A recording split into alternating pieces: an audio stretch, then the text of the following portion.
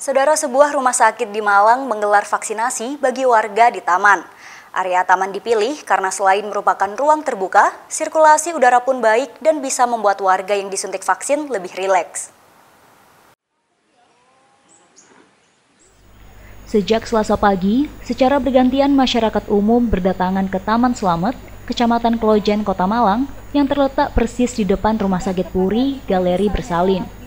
Vaksinasi digelar untuk masyarakat umum yang sebelumnya telah mendaftar secara daring. Proses vaksinasi sengaja digelar di taman kota.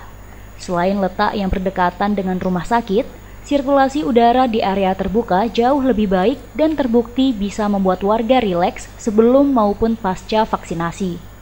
Selain itu, karena tempatnya yang luas, maka juga bisa mencegah kerumunan. Masyarakat yang mengikuti vaksinasi pun menyambut baik pemilihan lokasi suntik vaksin di taman. Selain membuat rileks, warga juga bisa menunggu proses observasi dengan bersantai di taman. Lebih ini lebih rileks aja daripada yang di rumah sakit itu. Tadi eh, sakit nggak mbak divaksin tadi? Cuma sedikit aja kok. Khawatir nggak mbak divaksin? Oh enggak, kan buat kesehatan juga. Total Rumah Sakit Puri menerima 750 dosis vaksin AstraZeneca seri 546.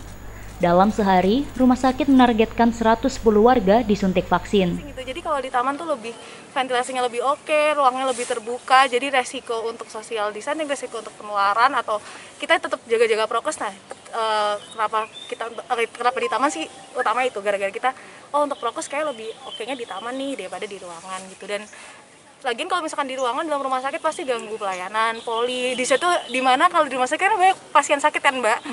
Baik pasien sakit jadi ya untuk mencegah uh, penularan sakit yang lain dan untuk prokes juga sih fungsinya itu sebenarnya.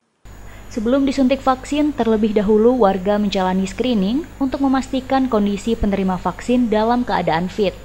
Selain itu, pasca disuntik vaksin, observasi untuk mengetahui adanya KIPI atau tidak dilakukan selama 30 menit percepatan vaksinasi COVID-19 terus dilakukan. Di Kota Malang sendiri, vaksinasi sudah diikuti oleh masyarakat umum. Setelah suntik vaksin pertama, warga akan disuntik vaksin kedua dengan jeda waktu 3 bulan. Hilda Nusantara, Kompas TV Malang, Jawa Timur.